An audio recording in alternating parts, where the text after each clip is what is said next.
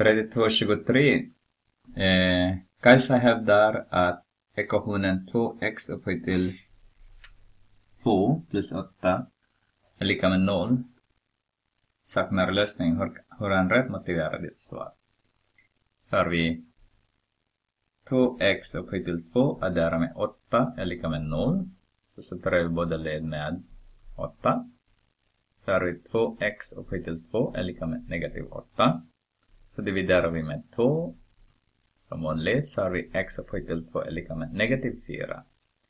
Så har vi roten ur till båda. Och det x är lika med.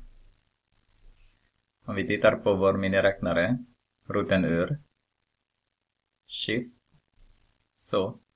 Negativ 4. Så. Så kommer den här non-real error.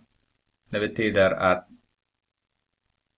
ej reella lösningar. Det finns lösning, men det är inte reella. Den heter komplextal. Men då är det för tidigt för er att höra om den där. Så, så om ni har negativ under roten ur, andra ruten ur, så är det ej reella lösningar som gäller. Så han har rätt. Hon har rätt, menade jag, Kajsa.